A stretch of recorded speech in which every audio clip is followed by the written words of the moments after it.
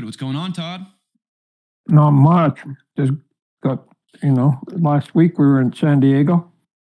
So we were we were elevated a little bit because uh, Hollywood was on strike with both their writers and their actors. So the they were told not to show up. So everybody got moved up a notch. So the comic book toy people all got moved up one notch. So it turned out pretty good. So Yeah, it's been a busy week for you, I bet, huh? Yeah, just to, and then doing some follow up. You know, uh, uh, San Diego can be pretty hectic, um, so it's tough to do any sort of real business. So what you do is you make a note and or collect people's business cards, and then you do you circle around back in the next couple of weeks uh, and sort of follow up on all your leads and your your interactions and see if anything sort of fruitful comes out of it. Awesome. Awesome. Well, tonight, I know we're doing uh, the first ever portfolio review, which is actually your idea a few months back. So I'm looking forward to this. And we actually have our first artist up with his portfolio. His name's Joshua, uh, the Art Jedi. I'll let him introduce himself, but I'll let Jake, I'm sure, we'll share his screen and we can get this thing rolling. Um, hello, Mr. McFarlane. I'm a massive fan. Your work has inspired me to get into comics. So looking really looking forward to this portfolio review. How how long how long you you've been uh, sort of pushing in this direction? Um, so I started when I was 15, so that's about three years ago. Uh, so okay, yeah.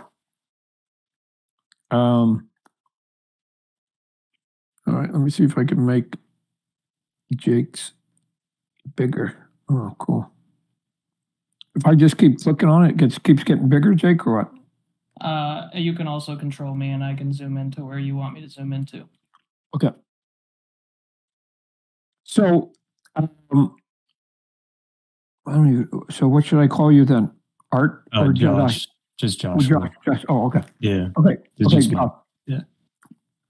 Okay. So what I'm going to do is I'm going to try and talk about some specifics for what you have here, Josh, but at the same time, talk about it in generic form so that if anybody else is listening or I don't get to their work, some of the stuff that we're talking about will make sense to them too.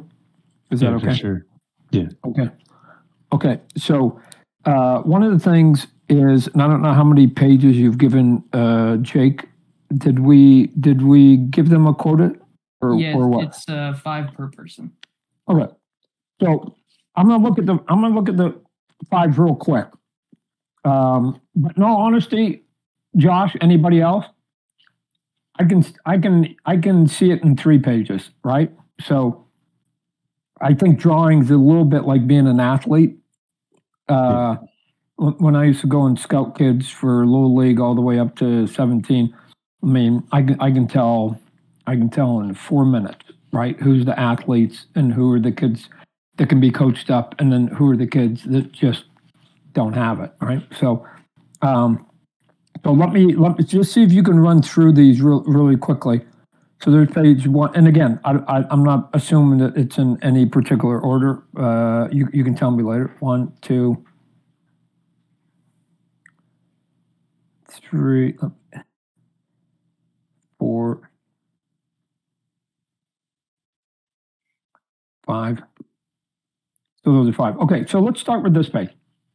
I mean, and, and again, I'm just going to be talking. I'm going to try and give everybody, Josh, about 10 minutes uh, and then move on. Uh, and you're welcome to listen to what I say about the other people. I may I may start uh, repeating myself. So uh, since you're the first one, you're probably going to get the most comments uh, because I'm probably going to say, "Hey, remember what I said to Josh?" Um, so so this page right here, in terms of composition, which which and again, let's define the word composition means. You know, what is it you're drawing? So you've got uh, what it appears to be some sort of cool rad uh, character standing there. Looks like he's got a cape or something, and then in the background, um, it looks like a city, and then Yeah. some smoke and energy or something behind him. Okay, so one of the things one of the things that I think is helpful is to give areas where your eye can rest, right? And so when I look at this page, again, good drawing, good composition. I like it. Would make a a, a good cover. My my first reaction to it is is like where where does my eye get to relax? Because if if you look at like all the line work in the cape that he's holding with his left hand, right? Right. And then and then you look at the sash or cape or whatever it is that's now swinging like around his hip and swinging off. And then even even what's going around his uh his hip. You're doing a lot of you're doing a lot of lines and I get it because you're trying to add detail and you're trying to do, you know, uh, something that looks like it's quote unquote wrinkled. Um, the the problem can be though is that all those tiny lines then can run into a little bit of what you're also doing on the pants, right?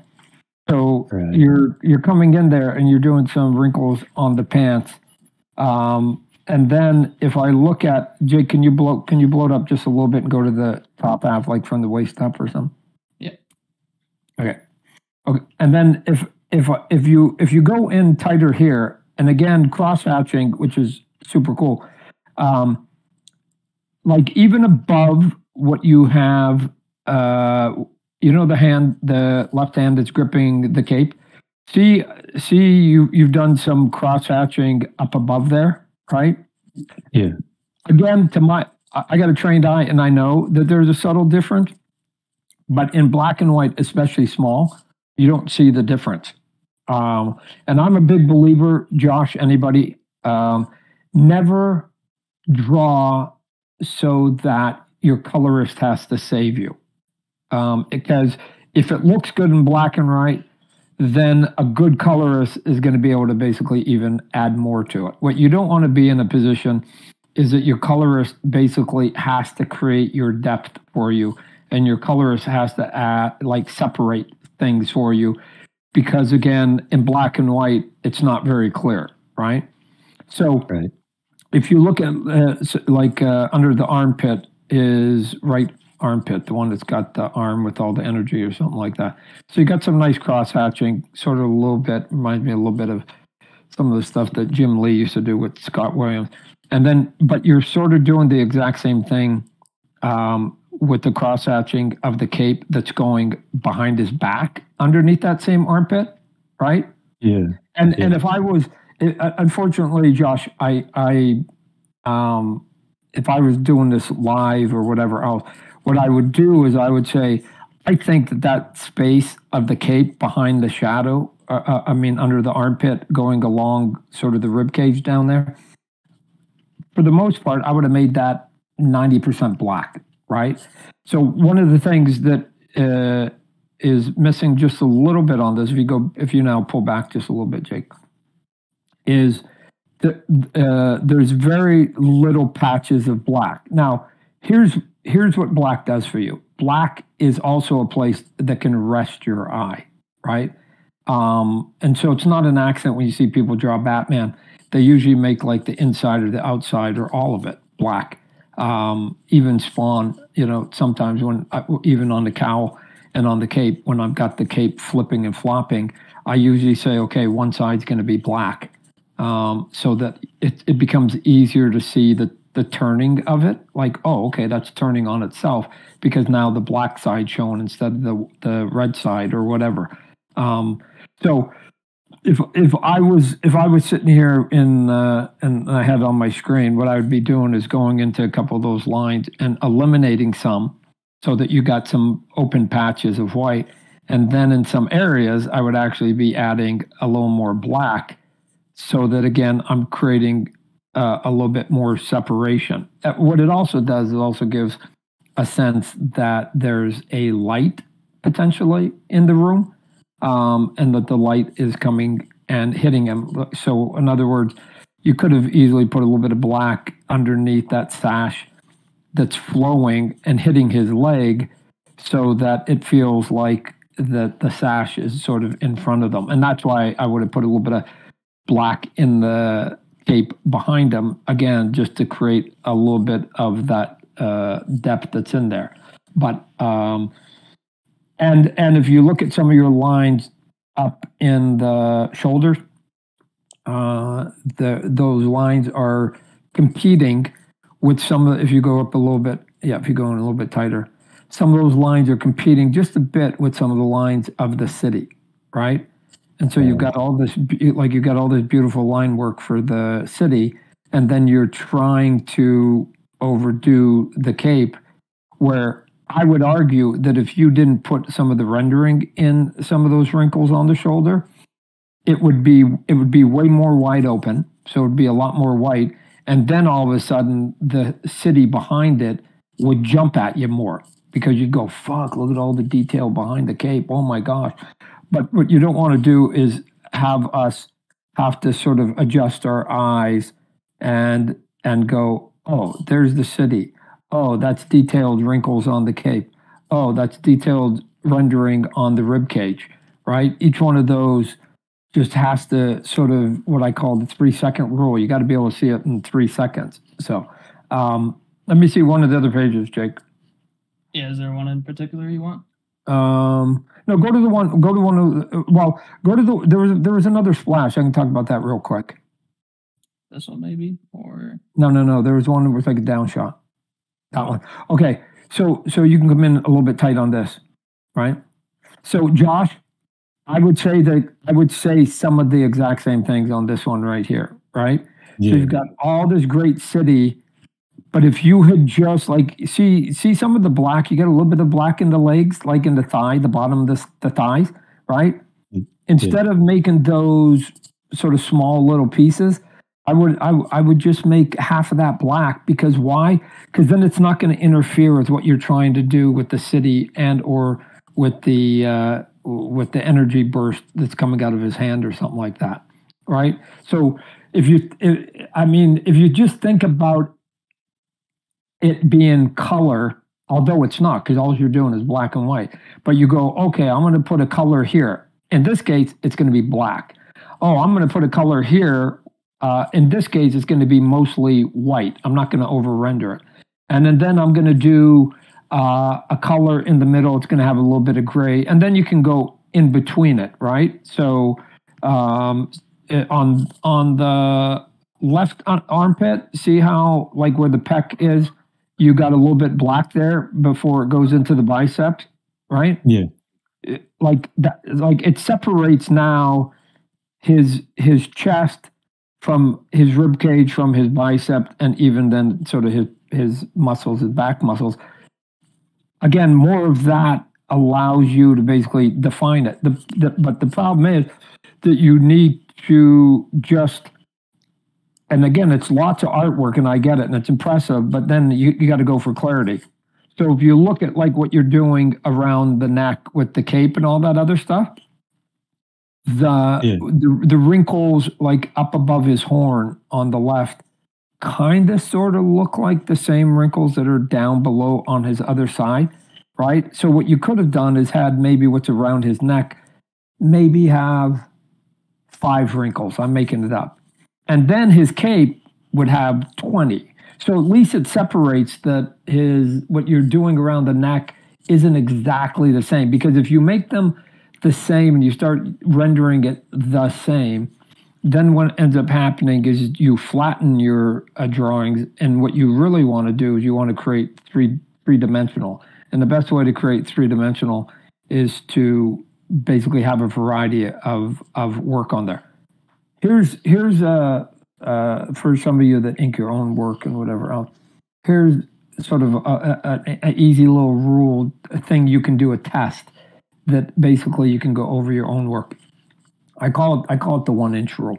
So take a, eight by ten piece of paper and literally cut out or tear out. It doesn't matter.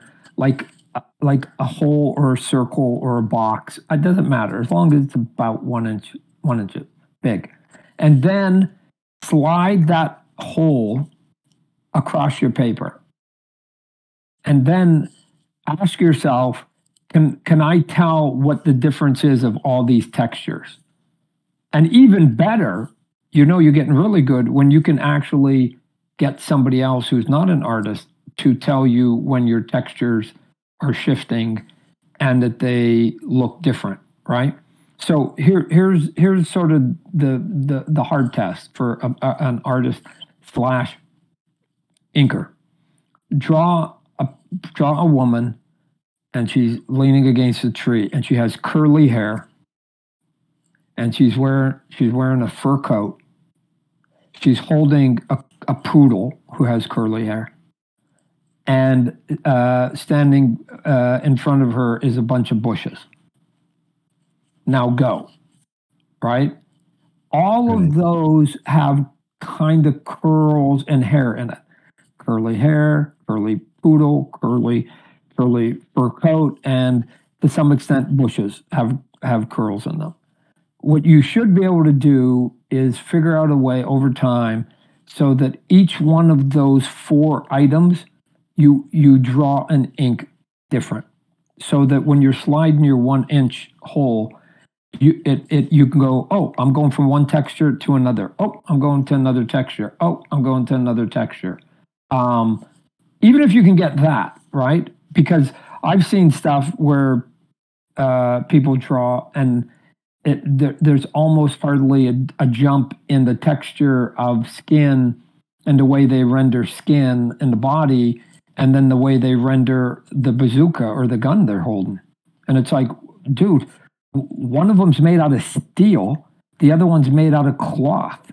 There it has to look different. It has to look different and and all you need to do is just sort of look with your eyes and you see some things are shiny some things are not shiny some things have a little bit of a texture some things wrinkle more than others some things wrinkle not the whole thing but they wrinkle like your shirt will wrinkle at the armpit and you know your pants will wrinkle a lot more uh, behind your knees and uh, around your waist wherever you're basically bending the most. That's where you're going to get the most wrinkles. But otherwise it's open right so you don't have to worry about it. Where again if you look at these pants here you can say that it's wrinkling around the kneecap which it should but it's also wrinkling in the thigh and in the hamstring and in the groin and in the kneecap on the other side. You, you, again this is that you gotta you gotta just let this stuff breathe in little in, in spots on here um, that are on there. But um, and then let's go to one of your multi-panel pages here uh, and then i'll move on to somebody else here okay so uh, the the uh, you've done some nice things here. So the one thing that you want to do here again is you're the director. Think of yourself as a director of a movie, right? You get to control the reader. So you've got one, two, three, four, five, six, seven. Again, this is a pretty solid page. I would say, unless there's a good reason for it, I rarely go over six panels. And the only reason is, is because you start it starts to force you to draw tiny things. And when you start drawing tiny things, then as you can see in panel one and in panel five, see those two figures, right? Yeah. They're they're kind of about the same size, right? You know, Right. you've even you've even got a couple in panel three. I mean, it's not the hero, but he's looking down at them, and they're and they're kind of about again. Let, uh, I'm going to call it the one inch rule again, right? The character looks like about one inch tall in panel one. There's a couple characters look like they're about one inch in panel three, and then in panel six, it looks like again there's a couple that are, or the one character looks like about an inch. I mean, again, they're not exactly, but they're in the ballpark. And what you don't want is to have repetition of size and scale. So where you did do good, panel two, you've got three heads there, and each one of them is getting bigger, bigger, bigger, right? Right. I could argue that you could have overlapped the guy, the second uh, character could have been behind the th- the third character on the right, the big one, just a little bit. Uh, Because what you did is you got polite that you. I mean, yes, it, the the second guy's shoulder is hiding the guy behind him, but when whenever you can sort of overlap things, whether it's a hand or a horn or a spike or a knife or a gun, and you can cut it in front of another character, uh, do it. Right, even on its on the own character. If the character is holding the gun, don't have them hold it to the side, hold it in front of them, but make it at an angle so that it crosses their body, then pokes out of their body, so that you go, oh man, look at that cool big gun that they have there. Um, so, the, but but I like the scale here. And then you went in close in panel four, like a, a, a cool eye shot. Mhm. Those are those are always valuable. The only the only piece on here that I would say to watch out for too is remember that comic books have captions and have word balloons. Um, Right. and, and I have to remind I have to remind my guys a lot.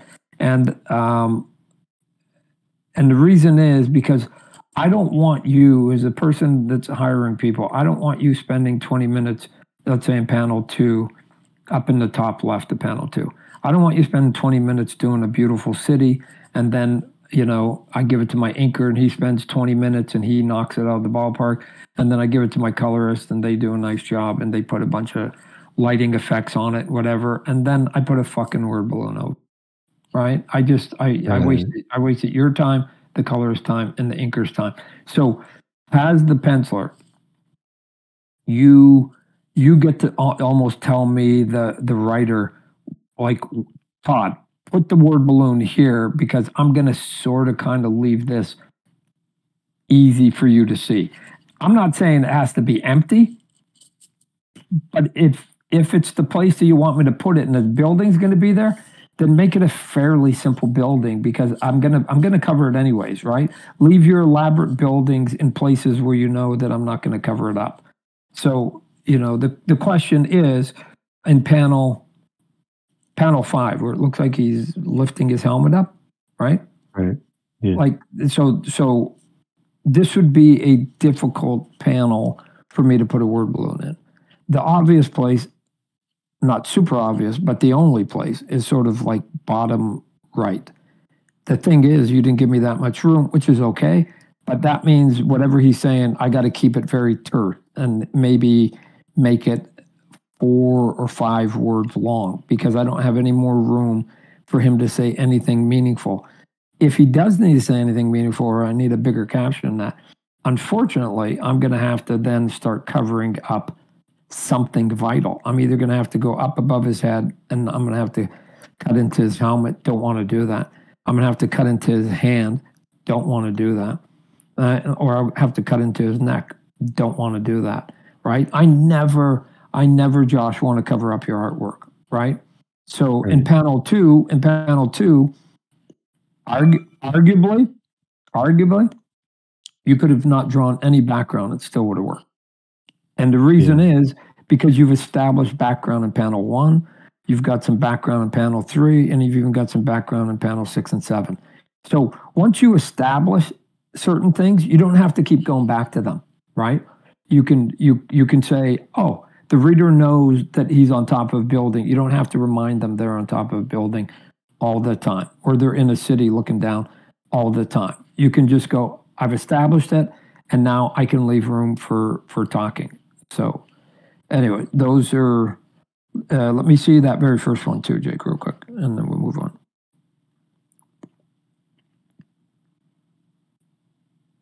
Yeah. So this one again, one, two, three, four, five, six, seven, eight panels, right? You like because here's what you can do. If you made this a five panel and you took three of those panels and moved them to the next page or whatever else, like you would you would eh, give yourself so much extra room to be able to obviously give the writer the spot where you want them to talk, right? Panel two, uh, okay, I'm going to put it above his head. Although if there's anything he's looking up at, then I got to cover it up. I don't want to do it, but I can go above his head. But then if I go to panel three, which is a head, oh, by the way, the size of the head in panel two and the size of the head in panel three are kind of the same. Again, watch out for that. Um, uh, I don't, I don't know. I mean, it could be a hell of a silent panel, but if something has to be said, I don't. I mean, I don't know. And maybe there's actually even a ninth panel. Maybe I'm even missing that one that's off by his ear.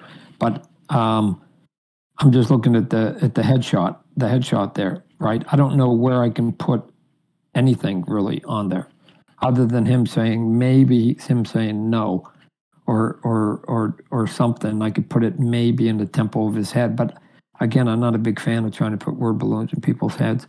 So, um, so the drawing. So you got lots of nice drawing, Josh. Just just start looking at. I mean, Greg Capullo to me is one of the great wonders. of moving camera around on page to page so that he's got a great variety and he moves the camera and he's really smart about leaving space for captions and word balloons and he doesn't he doesn't kill himself drawing stuff that he knows is going to get covered up because he's he understands he's got deadlines and deadlines are going to matter if you want to get a body of work out. So Right. Anyways so all right but there's lots of good stuff there right? Just just uh, uh, more clarity more clarity and and and create a rolodex of textures so that when you're looking at something it doesn't seem like you're rendering three or four things kind of the same in black and white Yeah, I kind of did that on the on the spawn. If we can just look at that for like a few seconds, I just wanted to, if that's okay. The second one, yeah. If you could zoom in a little bit, there's um, different textures and stuff. Mm-hmm. Yeah. It looks like you got some blacks on there. So again, if that, that colored in black, um, yeah, that might that might work.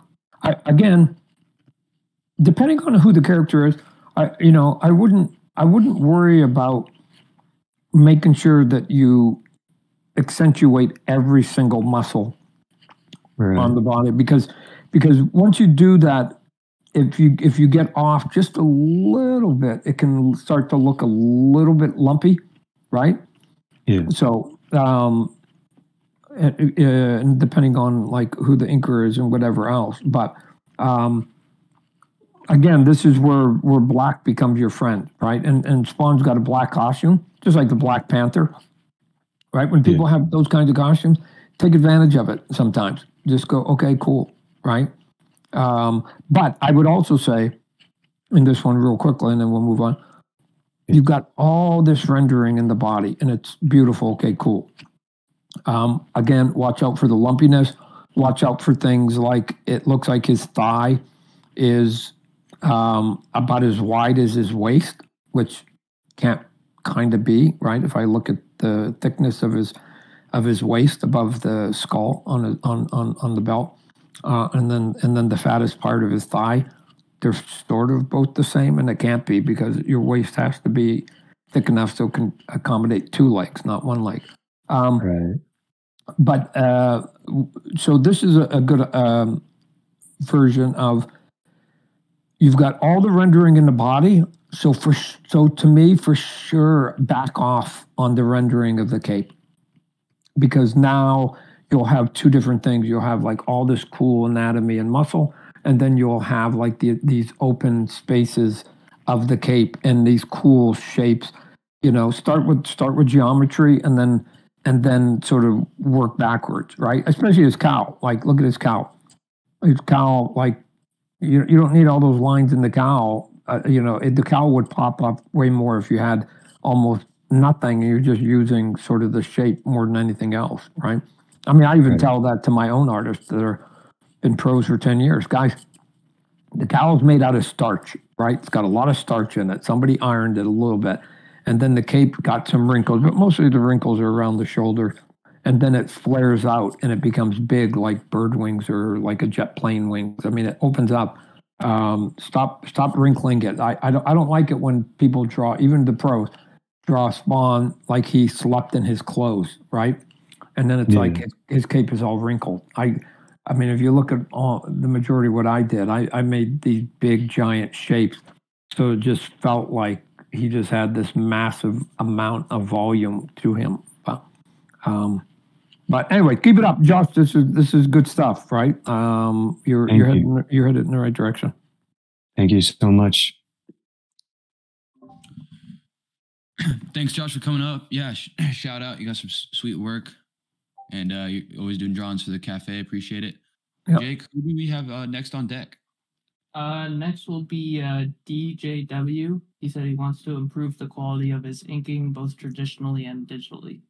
DJW. All right, DJW. I've shot you an invite. You mind would mo- mind coming up on stage, and Jake will start sh- sharing some of your work. Ooh, Okay, so I'm just gonna pull them all up. Oopsie. DJW.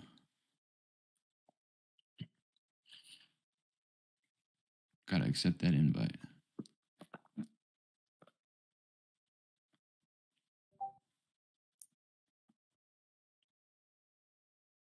He's trying.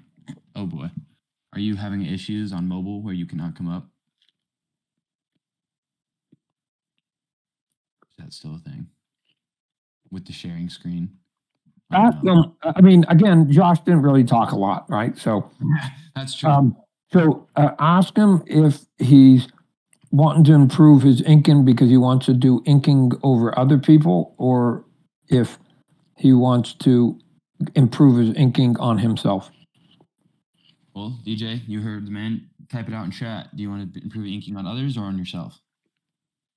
I uh if you're able to go on Discord on a computer, you can get up here. But I think Discord has a bug where if someone is sharing their screen on stage and you're on mobile, you can't accept to come up on stage. I think that's a Discord problem.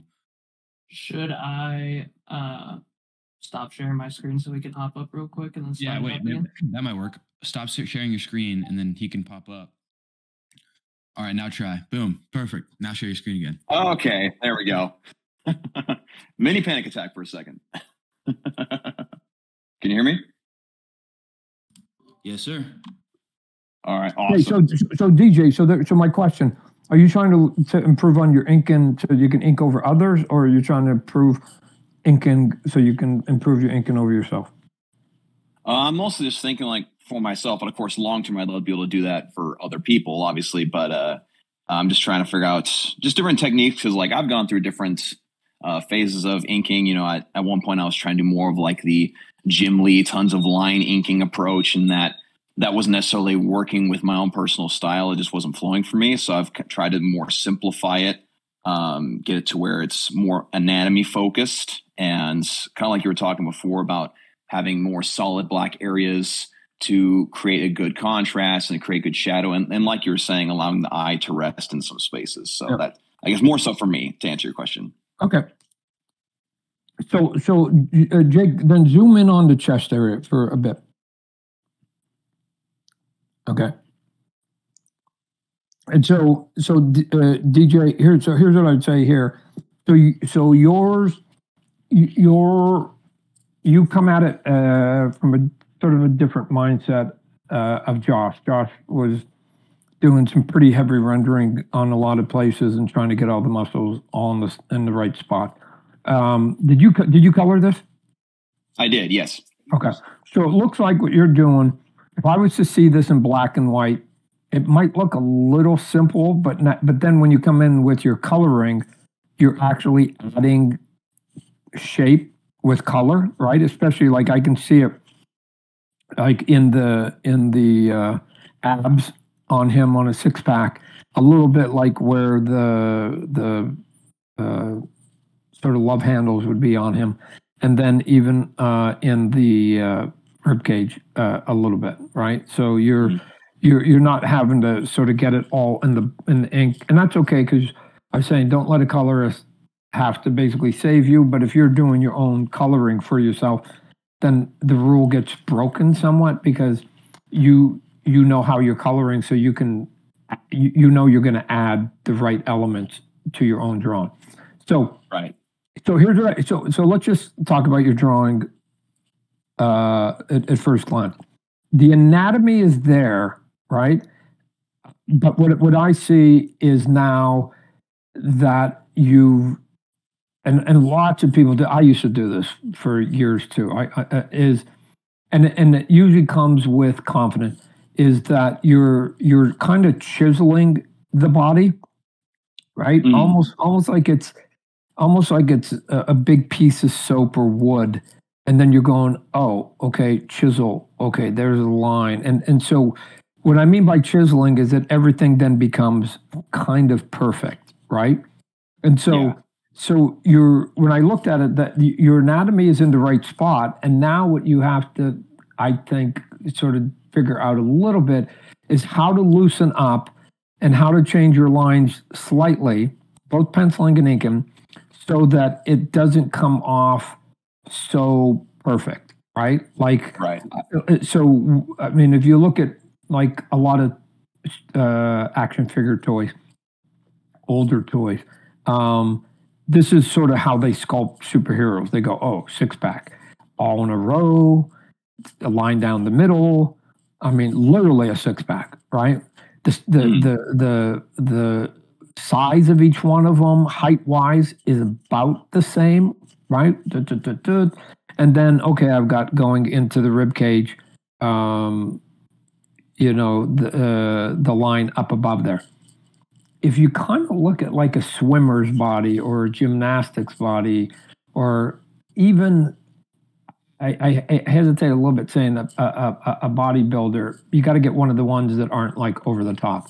But even if you Right. do that, you're going to see that like there's all, all the muscles are there. They have a six pack, but sometimes the six pack kind of is only three lines. It doesn't really sort of have the line down the middle, right? Mm. I mean, a little bit. I mean, you do three lines going across, and then you do a little bit, but it indicates that it's a six pack. And so you go, oh, okay. And it feels more sort of natural, right? Um, that the muscles are then relaxing and and sort of flowing into the rest of the body. When you chisel stuff, what it looks like is, to my eye, it looks like um, that the body is flexing and tight, like we used to do when the pretty girl used to walk by, right? You just sort of like in your gut and you tighten everything up and you want to look really good, right?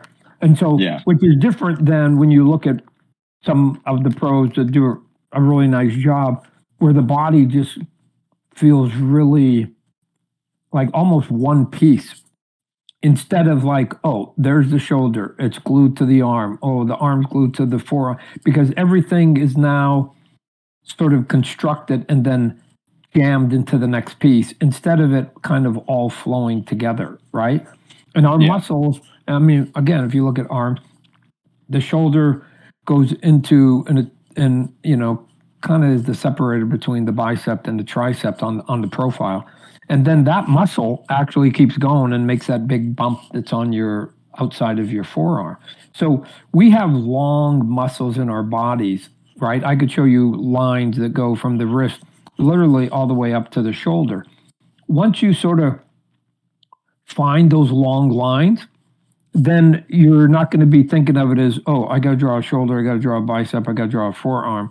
You're going to be sort of thinking of it as sort of one long piece in which you basically then cut some lines in to basically give the separation and the detail uh, and the definition of it, right? I mean, if you look at again, Yeah. Jake, if you go if you go up on the onto his uh, leg, you, you did the same thing here. You got three teardrops, and again, the answer is yes. That's exactly sort of when you look at anatomy, it, it is built in these teardrops.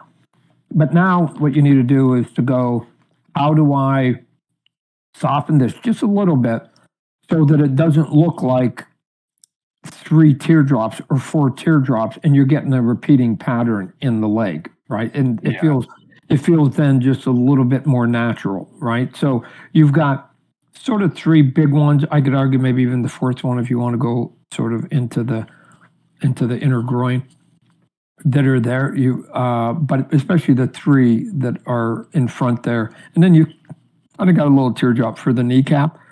Um, what would have helped that is if you didn't uh, separate all of them with the dark blue, right? Yeah, If, if I only a, if only a little bit. If you would run the, let's say the the, the big one uh, running down the left side of the pay of the of his leg there, um, and you didn't worry about the blue sort of on on half of his leg on the left side, and then you just added a little bit of detail on the inside.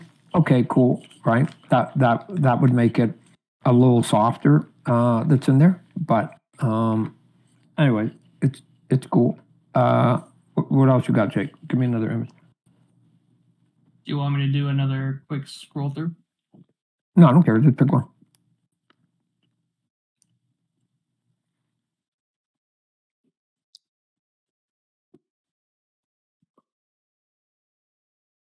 Yeah.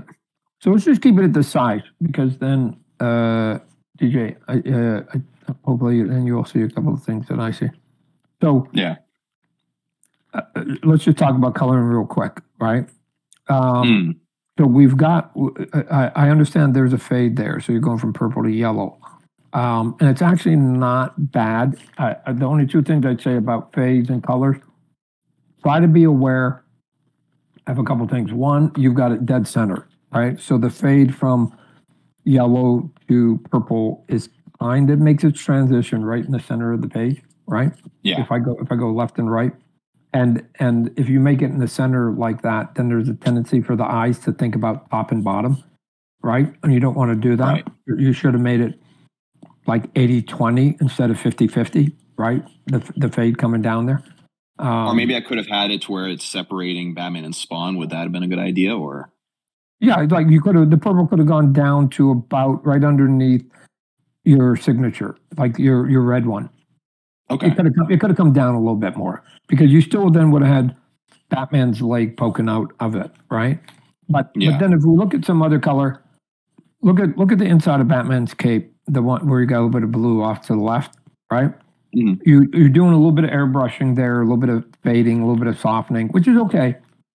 But then when I look at his rib cage and what you're doing with his shoulder and the definition of some of his muscles, you're you're kind of using the same technique, right?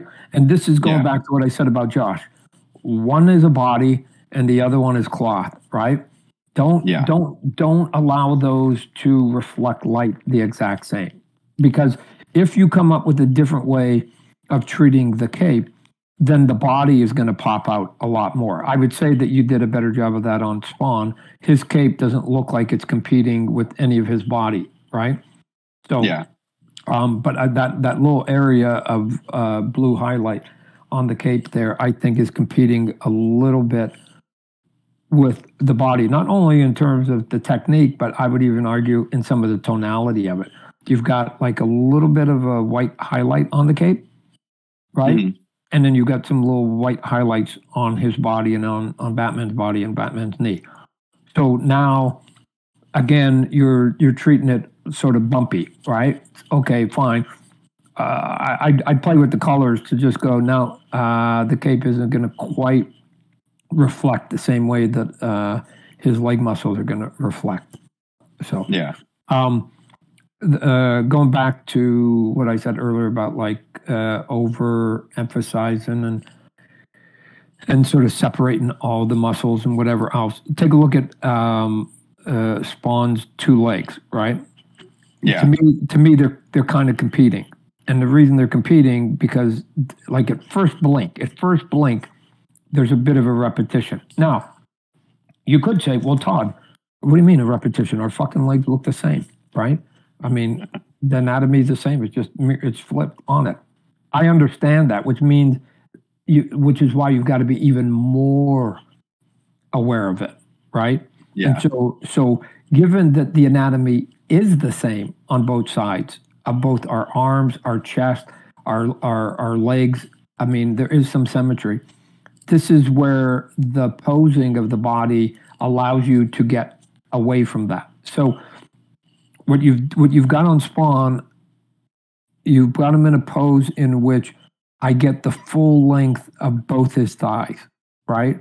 there's plenty of poses where like even if one knee was coming more towards camera then it would change the way you have to then draw the perspective and or the anatomy on that one knee.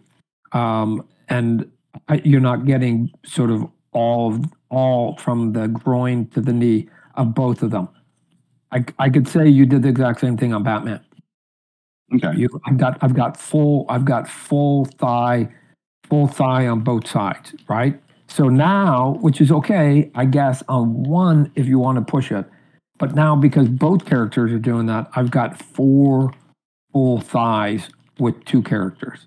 And there's where Yeah. the, the repetition comes in a little bit. It's one of those ones that once sometimes when somebody points it out, then you then you see it because I, again, I did it plenty of times where I get blind to my own drawing, and then somebody says, "Why'd you do that?" And then you you go, "Oh, I, I didn't even see that." Um, yeah, Cool. Uh, here's what, here's what you're doing really good on this composition, though. the the page is square, and what you're doing really nicely is that you're making sure that almost everything. It's you can't have everything, but you know you've got a lot of things that are at angles that are counter to the edges of the page. So Batman's leg is at a di- diagonal.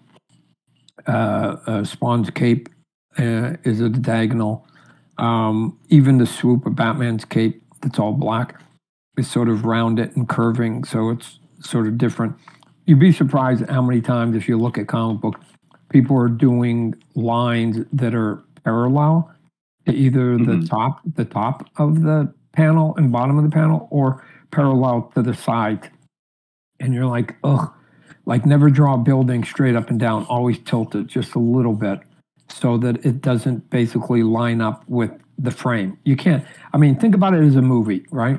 When you go to a Yeah. movie theater, that frame is going to never move on you. That frame is always going to be in its 16, uh, Uh, you know, to 9, 16 to 9 ratio. It's always going to be exactly the same. What can change is the camera angle and how you crop things and whatever else to give the sense of depth, even though your panel is going to be exactly the same. You're you're you get the luxury of changing the size of your panel in comic books, but you know I I, I would still think of it as being a movie director and saying, okay, even even if this is my panel and this is my square, how do I compose stuff in it so that it seems interesting and everything isn't up and down, right? So you have, and, and what's interesting, if you actually look at movies, they direct movies differently. Take a look at a comedy, especially an older comedy. And for the most part, the directors a lot of times will have the camera back and will show everything. Where if you're watching like a drama, a drama pushes the camera in and is always cropping heads. They call it a Hollywood haircut. They're always clipping the top of people's heads as they're talking back and forth to each other. And they they sort of blur stuff and they don't sort of let you see everything. Some comedies to me almost look like Broadway plays. Uh, they just happen to be filming them, uh, and they're a little more they're a little more simplistic to my eye. But um, anyways, you're you're the the the composition is good. Um, I just I would just be aware of a couple of those things. Even Batman's cape, right? Even Batman's cape. Come down with the point. Let's say the one that's on the furthest on the left, and then I would have swooped it up so that it came up, so that it had to go back up and around that thigh that's bending. Right now, you've got hmm. it politely just a little bit underneath it, right? I'd make it go back up so that it gets hidden and then it has to come back behind it. Why? Because it creates depth. Because then it's like, oh, the cape is behind his leg. Cool. Also, all three of your swoops on the cape, kind of the same, right? Like, Yeah. it- it's okay. Have a little bit of fun, right? Have a have, have a little bit of fun. I I I found that there. I mean, I I- I've employed people whose rough sketches and rough drawings to me have way way way more energy than when they actually go and ink themselves because then they tighten the pencils and they start chiseling it and then they ink it and they chisel it a second time and all of a sudden what looked like a body in motion now looks like somebody posing in motion and there's a difference Hmm. between the two the difference between the two is when you got something in motion that means it's almost like you took a, you took a movie and then you just froze it on a frame right you froze Yeah. it which is different than saying oh pose like you're you're slugging somebody, which is different than actually slugging somebody and grabbing one of those frames, right? So Right. I used to do a lot of the posing for my sports figures. For the for and and and I and again some point, obviously my body can't do it. I'm, I'm, I'm best for rock and roller.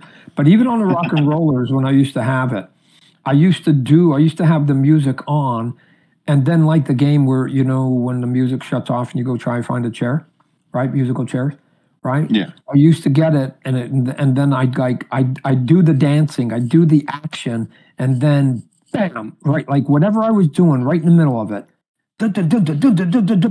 and then I'd freeze and what happens is your body is contorted in certain ways, but it's it's realistic. And if I was to say, "Oh, Todd, just stand there and go into that pose," it wouldn't come off nearly as convincing, right? I even I even did it one time with an Elvis impersonator. He couldn't get the posing right, but he had a boombox, and I said, "Then we got to stop this. You you usually go up on stage and sing, don't you? Yeah, okay. I want you to sing, and the moment I hit the fucking music off, wherever you're at, I need you to freeze that, literally ice freeze it, right? And I got the best poses out of him then because his wrist was turning and his fingers were flailing and his body was twisting and he was sort of his core of his muscles were tightening or his leg like he doesn't know he couldn't do that even if he wanted to from a standing position. You have to be in it. And so if i want to do a quarterback pose i i literally would pretend that i was behind the center get the ball hike because i used to play quarterback in high school go back pump fake twice and then go fuck there's my guy Woo, and then i'd freeze and then I'd freeze because I was in the middle of the act of doing it. Um, so for you, you want to do the exact same thing. You got a lot of nice motion here, and you want to keep all that action so that again everything isn't sort of parallel and straight up and down. So Yeah. yeah, but uh, good stuff. Now let's just talk about inking real quick, and then I'll let you get. Um, inking is a sort of unscientific science in and of itself. So Yeah. there's there's lots of there's lots and lots and lots and lo- lots of ways to ink. I'd go back to what I said to Josh. The the biggest thing about inking is that I should be able to look at your your capes and your trees and your bodies and your cars and your machinery and your explosions and and an elephant and and and quickly see that you've done something slightly different with each one of them right you Yeah. can't you can't I've, I've I, and sadly there are these guys that have been in our business especially when i first broke in and like they'd feather everything they'd fucking feather everything and so it just became repetition oh by the way you also have to pay attention to the quality and the thickness of your line right Right. so if you're doing thick lines on the character, if you're going to do a city behind, then you can use thinner lines and, and dead weights on it, right? I mean, I figured this trick out on Sp- Spider-Man's body. I literally would go in there and, and ink him without any of the webbings. I would just go, no, thick, thick, thick, thick, thick, thick, thick. And then I would come in with this fair line and do all the webbing but I made it so thin that you could still see the body muscle on uh, structure on them. Where other people would literally ink the webbing on Spider-Man's costume, kind of about the same thickness as they were doing the muscle stuff. And to me, it all blended. It all bl- it flattened. It looked more like a what I would call a coloring book. So, but Yeah, and that's actually the exact same advice that another artist named Michael Watkins. I don't know if you ever met him. He gave me the exact same advice about inking: is really mm-hmm. being mindful of the line thickness and making sure that you create depth by u- u- utilizing the differences. And so that's that's awesome that that fact that I got that advice not just from you but from someone else as well just reinforces that. Yeah. And and again, figure out that you know everything doesn't have to be the same feather, the same taper, or whatever else. You can have some stuff long, small. Some stuff you go into in a corner, you're going to cross hatch a little bit. You just create a repertoire, right? I mean, all of a sudden, when you're early, you got five different ways to do stuff, and once you've been doing it for a while, you got 105 ways to do stuff. So, Yeah, all right, I appreciate you coming up.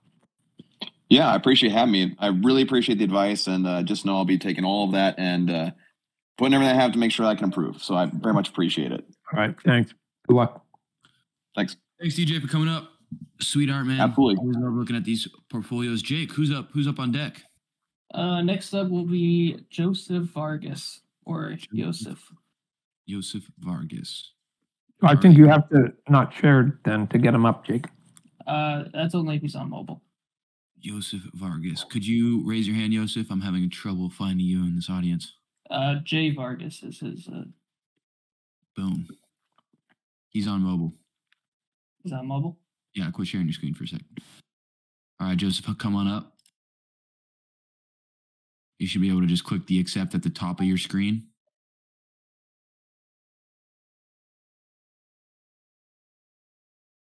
There you. There he is. All right. Go ahead, Jake. And Joseph, you're muted too.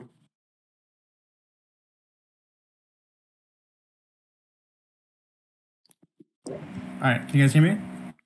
Yeah. Yes, sir. All right, cool. Todd, thanks for taking uh, some time to read my portfolio. Appreciate your time. Sure. Okay. So Jake, let's uh, zoom in on this one. Uh, which part? Just any and any and all of it. I just need to see it real quick.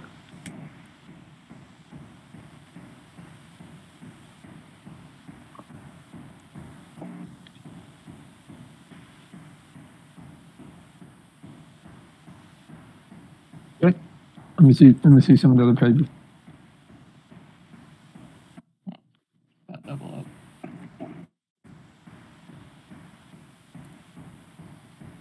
So zoom, in- zoom in on this.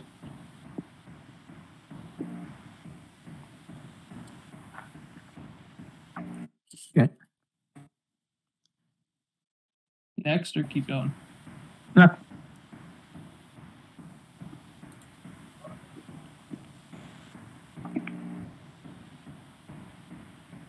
Okay.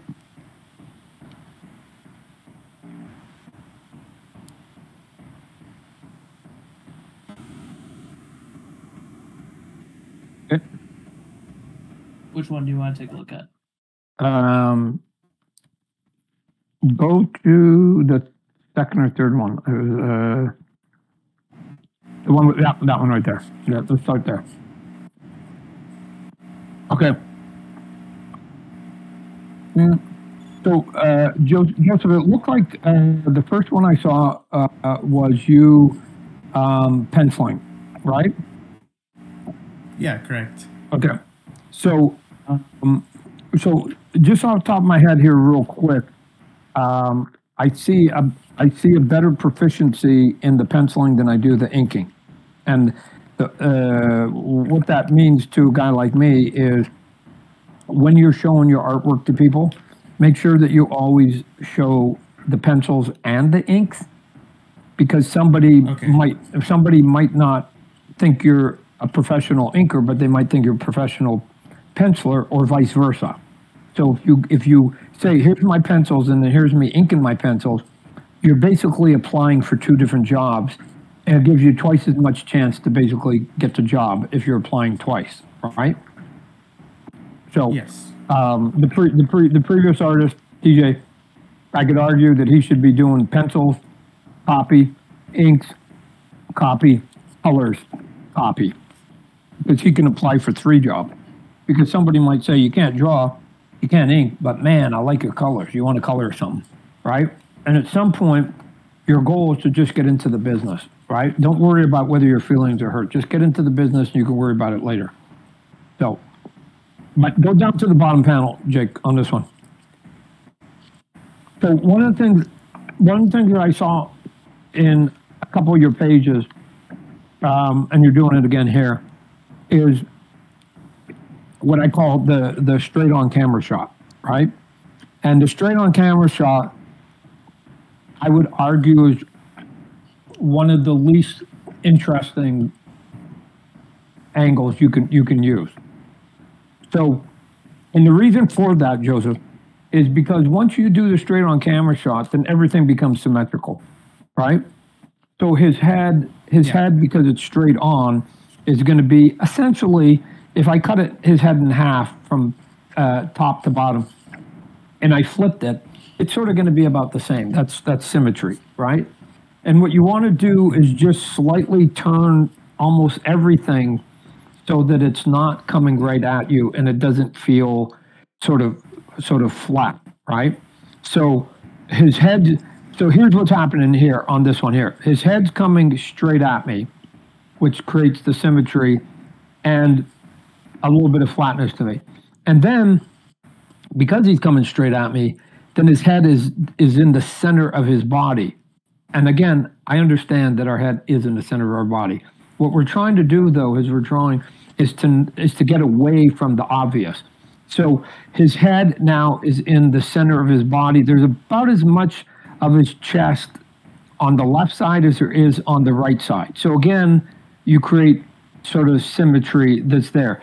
The shoulder height, kind of about the same, and about the same size. So again, I'm getting I'm getting repetition there. And then the the leg is uh, the big long one, the left one is coming at me and it's coming straight at me and it's it's coming at me so perfect that of course it's going to hide the shin and the foot and the heel and everything behind it. Same with the other one on the other side. Oh, and by the way, it also makes it that the width of both those legs are about the same. Now, I know intellectually that our legs are the same width, just like our arms are the same width, right? So there is the symmetry. But to go back to what I've been saying earlier, then your job is to try and have as much fun and and and and get away from the symmetry if you can, right? So the hand uh, that would be his right hand. See the right hand that you got um, with his he, he's got the claw and it looks like it's coming towards me, right? That's one of those ones that again with a lot of characters, but especially if I was doing Spider-Man that hand would have been way out front. So it would have been four times bigger, five times bigger than his other hand. And it would have been probably way bigger than his face. Why? Because his hand's in front of his face. So it just naturally, if you take a photo of somebody and they're reaching out towards camera, the hand's going to be like way, way big. Oh, by the way, uh, the hand could have then been cutting in front of the mouth and in front of the uh, the teeth or something like that. So it would have hidden it would have hid some of the symmetry that was uh, uh, that was on there. But if you took the head and turned it just slightly to the left or slightly to the right, then what happens is you break all you break all that symmetry that's in the face and the flatness of the face, and it forces you then to make the head go off center, right? So if you look at it like a lot of what I did on um, Spider-Man, I intentionally had him hunched over, and he would he was always his head was always like to one side or the other because then I had to make his body and his neck like I can't even see the neck here because the neck is directly behind the head, and you've perfectly centered him, so I can't even get any neck in there, just like I can't get any of the foot. So if you just slightly turn it, then you can put the head and then the neck goes behind the head, and then the shoulders and the neck muscles go behind the neck, and then you get to, and everything starts to sort of taper behind it, and you start creating a lot more depth uh, by moving the character and turning the character around. Uh, it also looks like, Jake, if you go up to panel one, I don't know if it's rain or if it's sweat or whatever. So just zoom in a bit on the face where he's where he's driving. Yeah.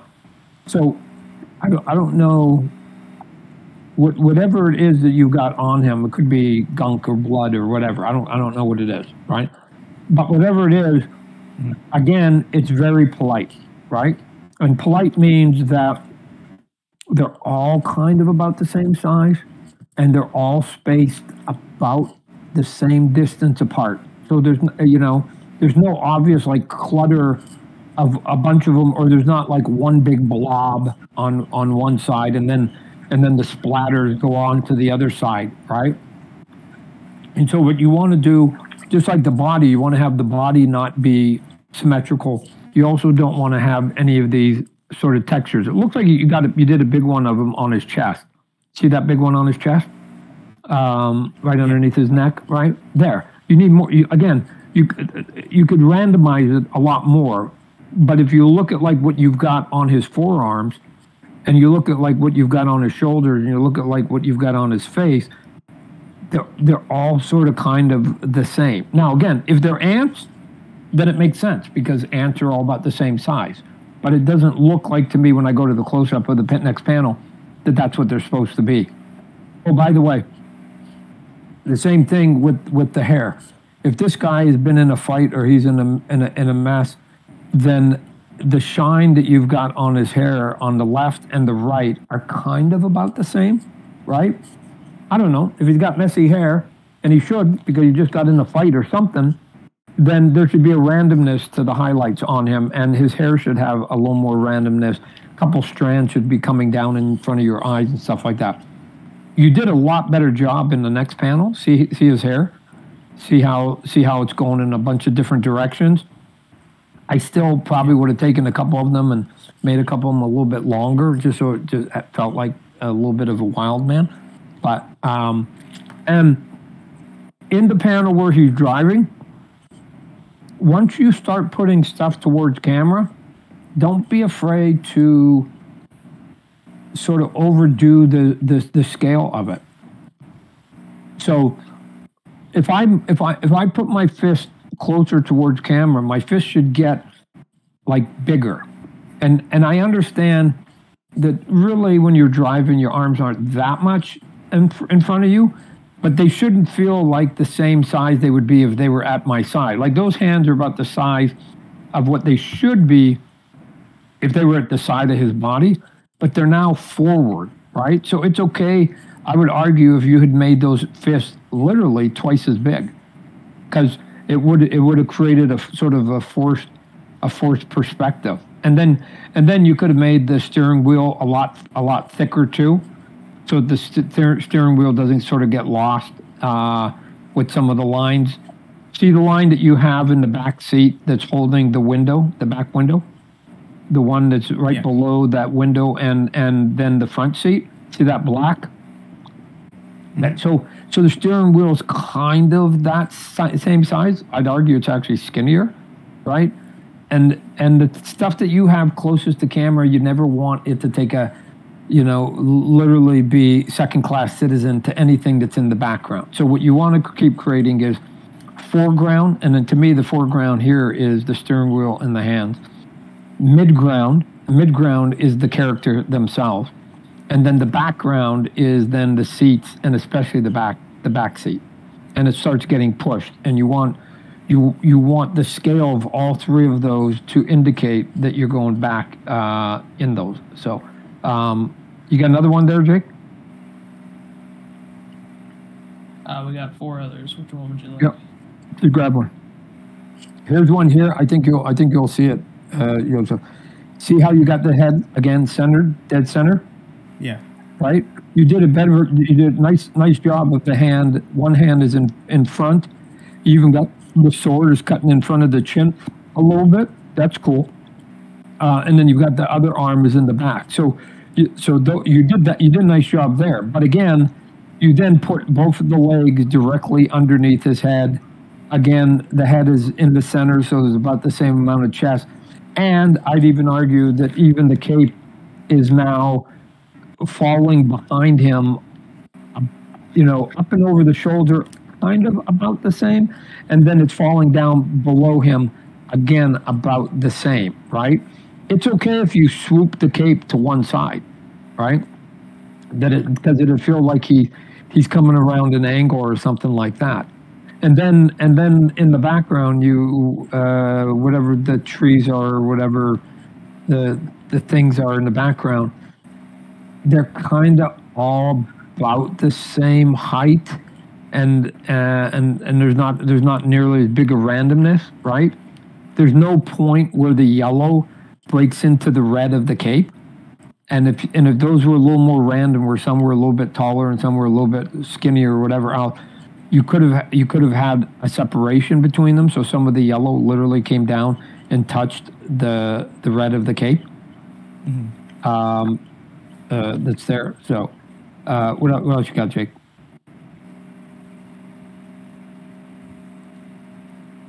Yeah, zoom in on this one. Let me see it.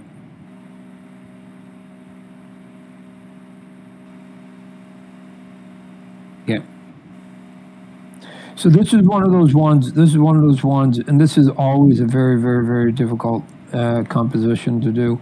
Um, of when you got the guy or gal at the top of a pile of other people, what what you want to do here? Remember, I was saying with uh, Josh about letting the eye breathe a little bit, right? So, so if you pull this back, if you pull this back, Jake, now go, go make this small. There should be something there that indicates that the two main characters, which I assume is the female and the male at the top, are are more important than everybody else. And so, even if it's just everybody else has a ton of detail, and you and you simplify them just a little bit, just a little bit, um, and whatever black is behind them, you could argue that uh, you could have got rid of some of the black, put it down lower in the pile, and left it so that those two characters were the only two popping out of the pile. Because right now there's they're sort of covered by the black behind them, but so are the bad guys. Um, there's a there's a way to poke out your characters to go, oh, they're the only two that are poking out of the pile in such a super obvious way that you have to look at those two. So I would have going going going a little bit closer, Jake, on the on the two main characters. Keep going. Yeah, so I would have got rid of some of the black behind them, and then see the guy that's over the bad guy that's over on the right. I would have lowered him so that he was even lower than the female's head. So that again, if you don't, if, if the background is, let's say, mostly white, and the two characters, your two heroes, are the two that are popping out of the dark pile, then then the bad guy is still lower than your two heroes, and you're not basically making them parallel, right? Like if I take a line parallel to the bottom of the screen from the female over to the bad guy, they're kind of at the same height, and it gives them basically equality. Don't don't don't let the bad guys have the same value unless they're fucking being cut in half or they're being gutted or you got to sort through them or so. I mean, make it make it obvious. But it's way cooler if you're just on top of the pile and everybody else is just falling down uh, at the bottom of the pile, and the two heroes are sort of triumphant in all of it. So, um, you got one more?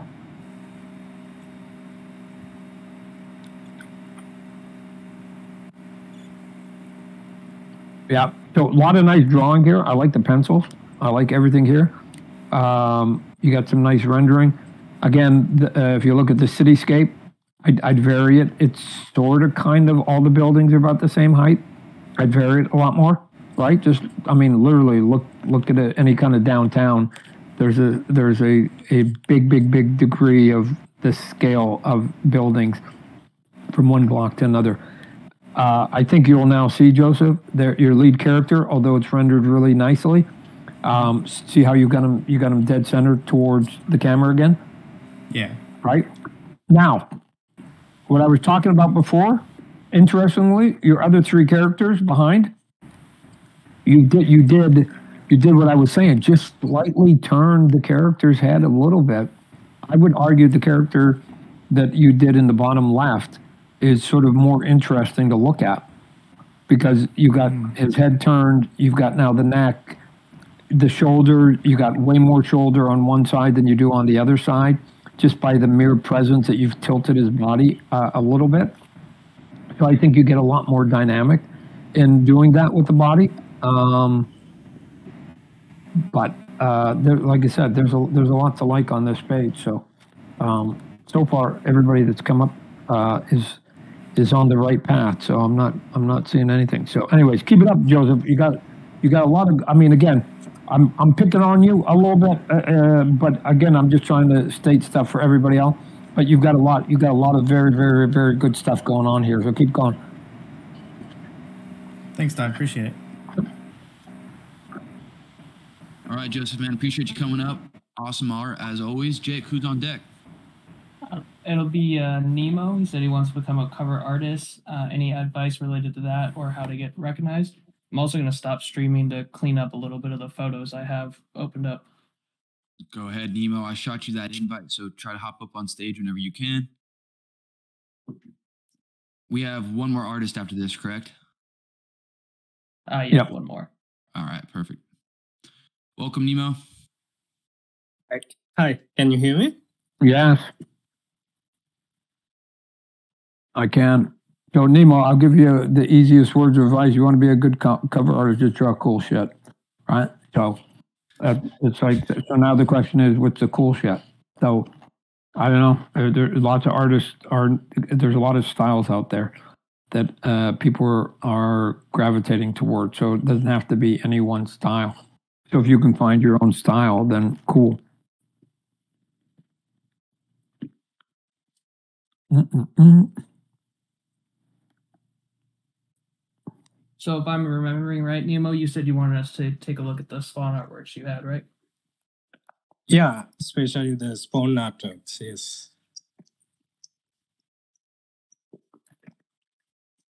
So here's the first one, Dad, and then second one. Okay. And the third one. Okay. Cool. Okay. These are all these these are these are good. These would be good to talk about. Okay, so go to the first one.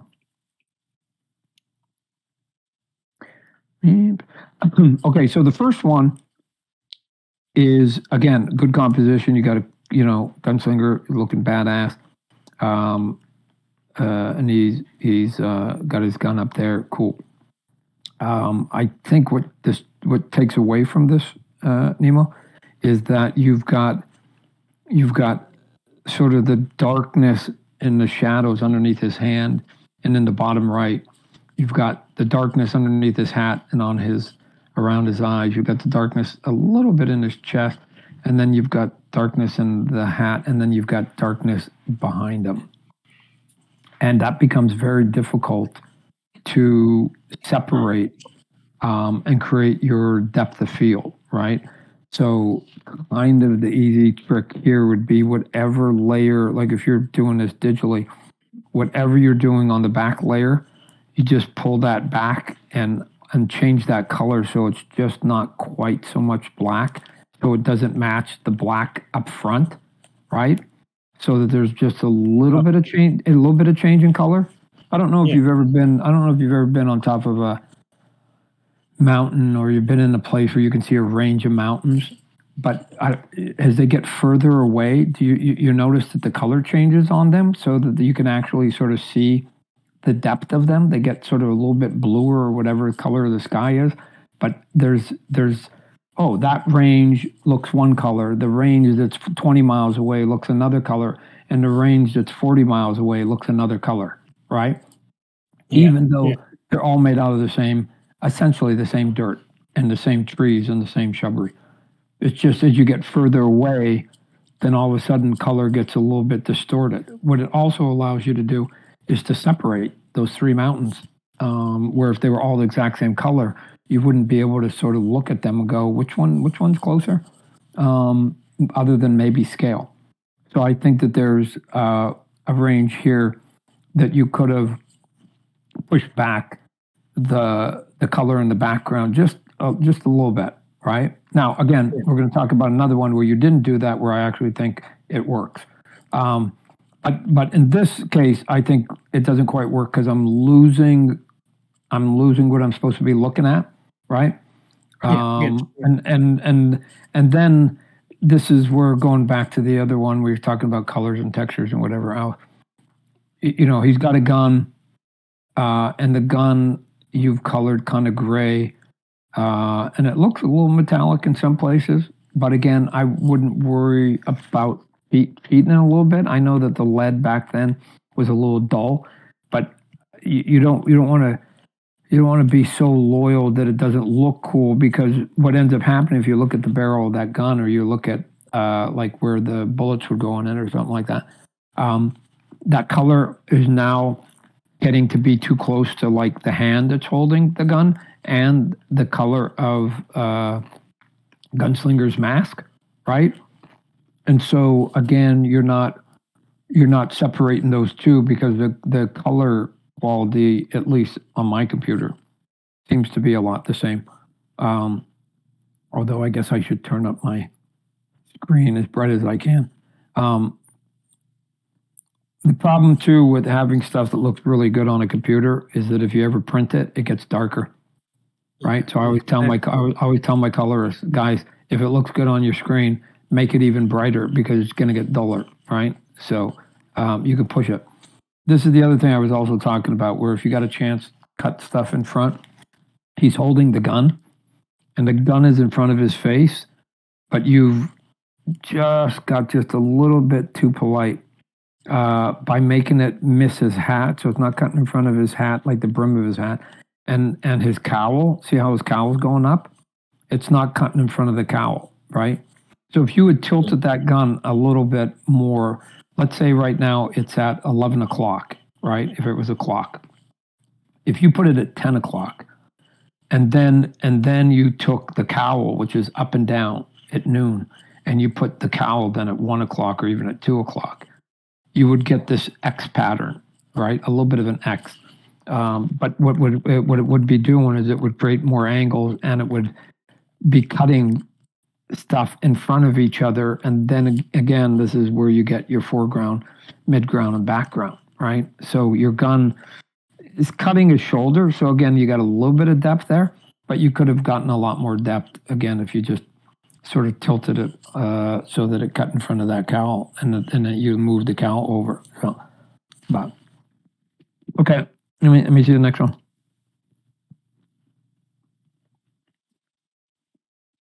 So this one is a little bit of what we were talking about on the other one. Even though you do actually in the top left have the same black as you do in the bottom right, right? So your foreground black and your background black technically are the same if you go to the deepest part of both of them. Because you added that green behind spawn, I'm not losing the figure, right? The, the, the figure the figure on this one relative to that gunslinger pops, right? Like I mean, there's no I could show that this is the three second rule.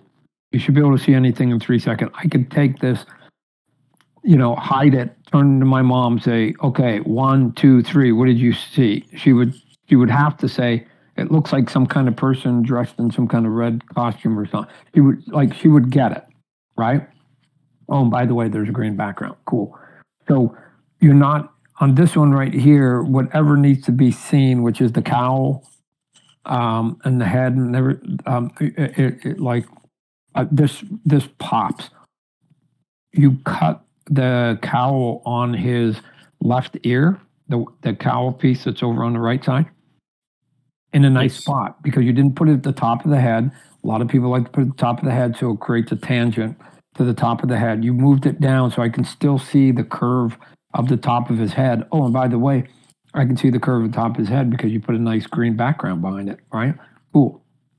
Yeah. Again, the green is is, is you know pretty close to the color of his eyes, so we lose his eyes, so those eyes don't get quite as piercing. But that's okay because maybe your effect here is that you know he's he's sort of lathering up some of his necro energy and he's about ready to unspool it. So, uh, so that's okay.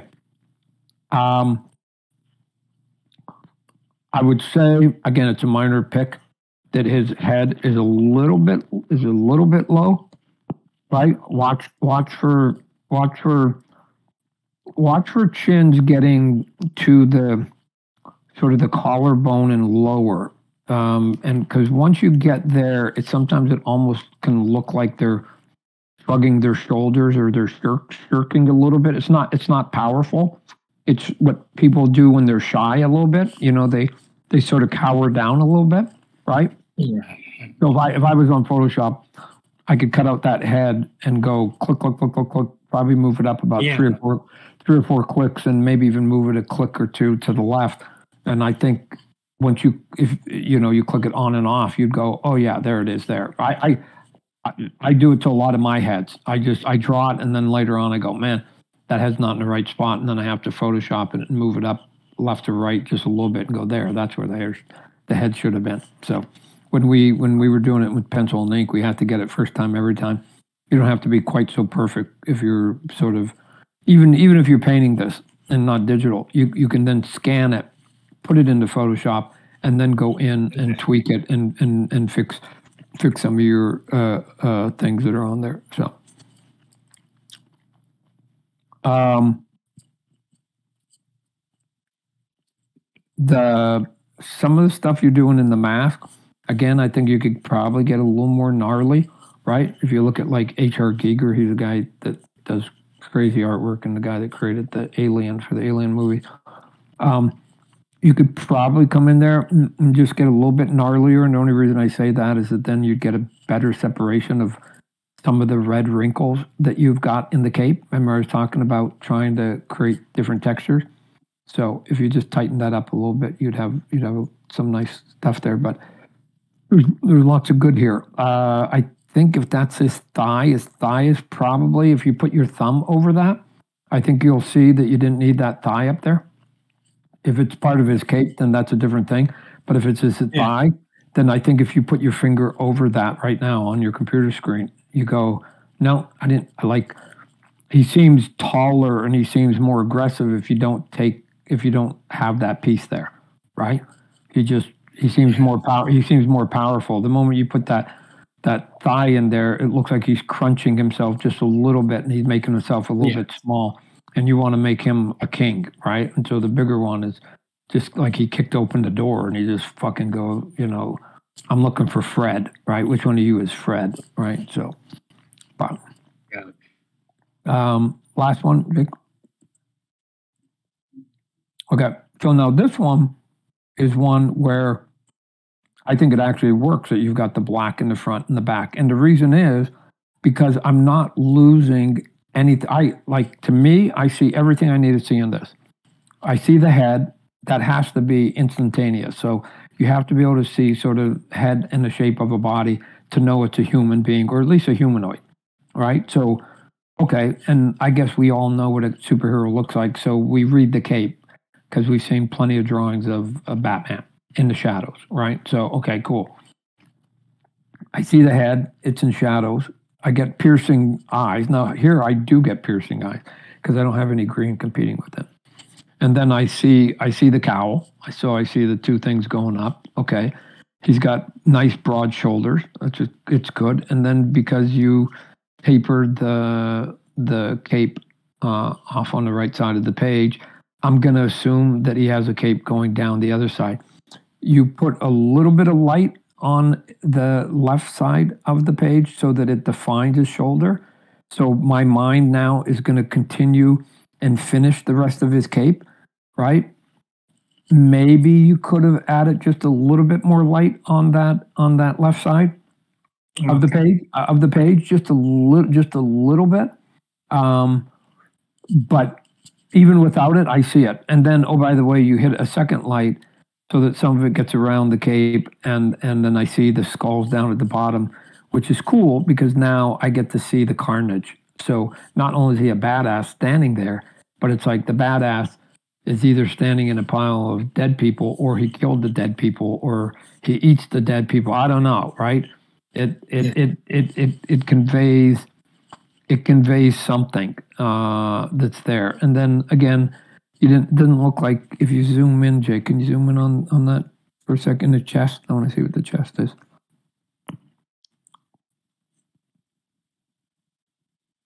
Yeah. So it didn't look like. Uh, uh, maybe as I get. Oh, okay. I was gonna say it didn't look like you you worried too much about chiseling the chest or whatever else. Although as, as I see it getting bigger, maybe you did, right? I like so you Yeah. probably you probably could go in there and soften that up just a little bit. Not you don't have to change Okay. anything. Just soften it, just soften it up just a bit, so that it's just you know it it, it doesn't feel like it's robotic or something like that. But um, but uh, anyways, I like I like it. I, you possibly could play with uh, the that that god ray that you have behind him, the lighting effect you have behind him, just to tweak it just a l- little bit so that the character the character's color is slightly different. Doesn't have to be dramatically different. I kind of like that you've got this sort of in a monochromatic sort of fashion, but just uh, just a little bit different so that the, the the red reads maybe on the character just a little bit because there's no true red in the light, right? So maybe you just punch up a little bit of the red to make it just a little bit more obvious uh, on that page. But that's that's a hell that's a hell of an image. I like it. So all three all three of the all three of those, the compositions were good. the paint your paint execution's good. Even some of the lighting, like I like again, I'm I, I don't know how you guys pick these people, Jake and Remy, but uh, all these all everybody I've seen so far. I, I can close my eyes and see them down the line and go, yeah, they, they could all get there. So, but that's I, uh, I that's cool. The first five people. Oh, That's but, submitted. okay. Oh, that's cool. That's super cool. So, Nemo, keep it up because you're, you're going to get there. But Awesome. That's great to hear.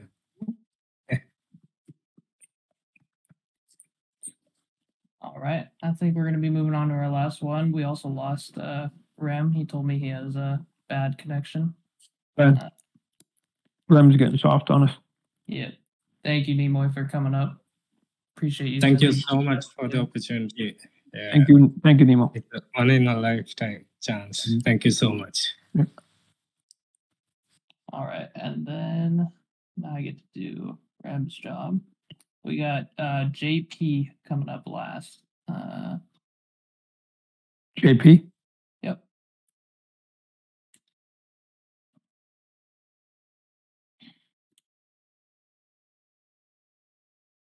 JP, what are you doing, dude? Okay, uh, can you hear me, sir? Yep. Okay. Uh, hello, um, JP. Thanks. Thank, thank you for the opportunity. Sure. We appreciate you submitting your artwork.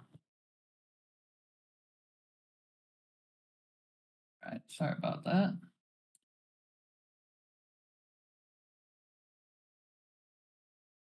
And uh, also remind me, JP, because you have a bit in your portfolio. I couldn't quite remember which pieces you wanted to review. Oh, I think it's the first five uh, from my portfolio. Okay, perfect. That makes it easy. Do you want me to scroll through them real quick first then? Yep. Yes, yes.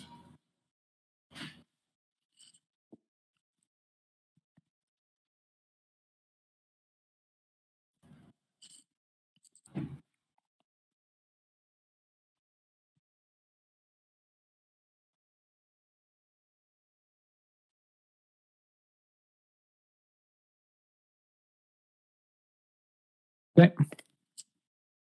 So just go first. just start at the first, whatever. Start at the top and you can scroll. All right. Um, so we've got the classic uh, spawn at the top of a building or gargoyle or whatever else. Cool. Um, I'm not a big fan, but again, others are, and other comic books do it. But just, I'm just going to make the comment. I'm not a big fan of colors that are not real, right? So I always, always tell my colorist, if you've never seen it with your eyes or you've never seen it sort of in a real drama movie, don't color it, right? So I don't know. I, I, I don't see a lot of purple skies, right? What I do see is a lot of kind of blue, gray skies. Like, then make it blue, make it, make it, make it blue or gray. That's that's what a sky looks like, right? Because if you if the sky is believable, then the character seems more believable. Um, and so I've done this before where I've gone in and people hand me their colorings and then I just literally lasso the background and and and do a slider and change it so that it's more realistic. And I go, there, there it is. There's the color. All right, boom, done. Uh, we're good. Um, so anyway, uh, you've got a realistic sort of city behind there and you're trying to do realistic cloud. So I'd, I'd stay on it and just use tones that seem like colors you would see in a movie, like a like a real movie, not a superhero movie, a drama movie, like a real life movie. Um, but um, on the cape, you got a nice big cape. I like it that you've got it that it's swinging to one side or the other. Um, I'm going to go back to the same comment I made with Josh. Watch out that you don't make all your lines the same. So, so zoom in, zoom in uh, on the top half of that cape there, Jake. And this is always easier if I'm. You can you can go even further. Um, if I was doing this and I had Photoshop, I'd do it. But if you take a look at the wrinkles that are to the left of his head, right? There's one, two, three, four, right? Before you get to like down by his knee. There's four there. And essentially, the four, JP, are about the same length left and right, right? So the width of them about the same. And then the, the, the wrinkles are about the same thickness, right? So there's not there's not a lot of variety. So the wrinkles are in the same direction, the length of them are the same direction, and the height of them are about the same. And this is that whole thing where I'm just saying, you, you know, watch out for your repetition. If you go now further to the left of it, and then you got this little triangle that comes sort of up uh, into the purple, right? And you see how you've got like a black highlight on there, right? that would be one of those spots where I would have just gone, don't don't put that black there, right? Because then that would have been a big patch of red, and that red then would be a lot different than what you've done. But at first glance, and I think you see it now if you shrink it, Jake, that that a lot of the wrinkles on that cape are kind of the same thickness they might not be the same shape, especially if you go down low, like what's happening by his lake. But because you put uh, a shadow on each one of them, the thickness of the red, the the racetrack, if you will, of the reds, are kind of about the same. There's no big piece of red. The biggest piece of red you have, which is correct, is on the on the cowl, right? Cool. But he has a big giant cape, and I don't I don't know. It's a weird thing that how many artists want to wrinkle his cape. Where to me, I'm I to me it was always like folding paper, right? If you saw how I did a lot of my cape, a lot of it was folding paper. It was just like okay, if I was making a paper airplane, you just take a piece of paper and you fold it, and you get these sharp edges. And I was always creating sort of geometry that was just folding up and over on it. Um, and the reason that I say that, uh, JP, is because if you do too much detail in the cape or whatever else, then the problem is when you go to the body and you start doing even more detail, then you get lost. And then if you look at some of the rendering that you did in the gargoyle or whatever that he's sitting on, um, it looks like there's a pair of eyes and then I don't know. There's some kind of ribbing effect happening that's going above the eyes of the gargoyle all the way up to Spawn's hands.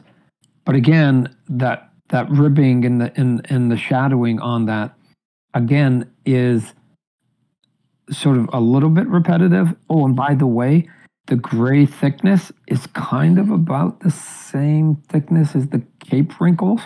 And this is where if you didn't do any of that, that was just a big slab of gray there it would make what he's standing on way more impressive. Um, because, like, put your thumb over it, Joseph. I don't know if you can see your own screen, but put your thumb over that gray and imagine if that was like mostly gray with a little bit of rendering, how, how different that would look compared to his cape, right? And then as soon as you take your thumb away, minus the color, there's a lot of sort of the same sort of shapes and stuff in there.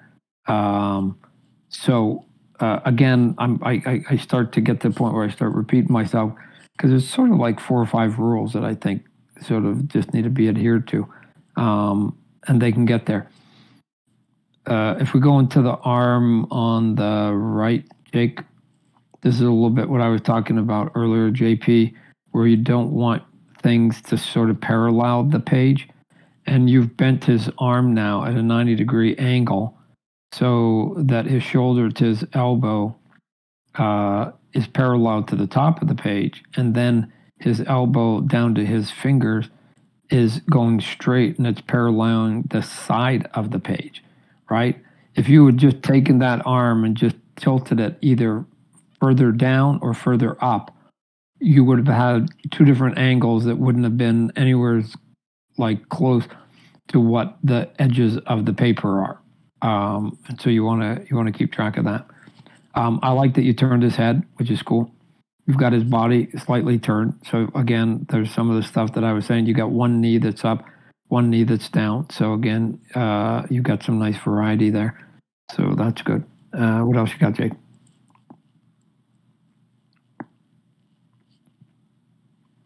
So let me zoom in on this.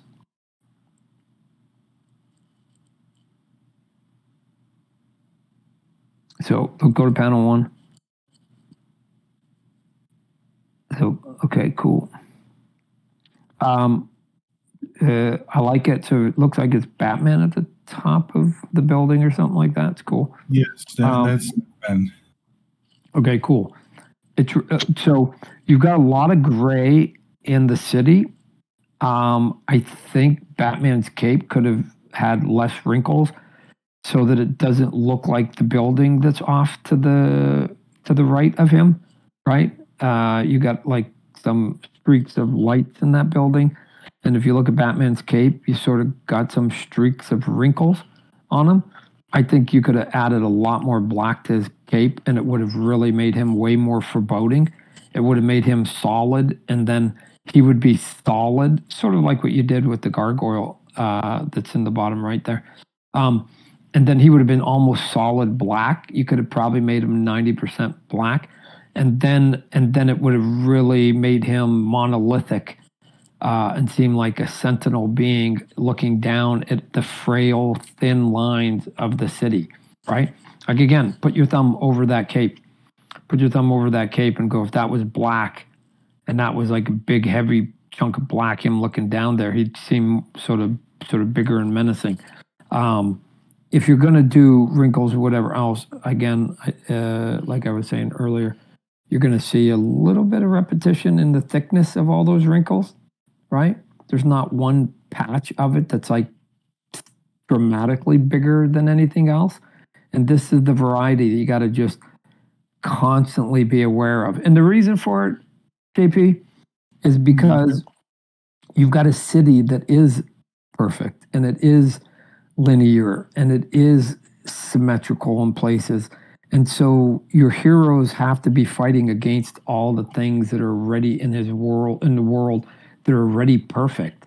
You've got to try and get them and separate them from some of it. Uh, so uh, you want to keep away from the city as much as possible. Uh, if you scroll down on that same page, Jake.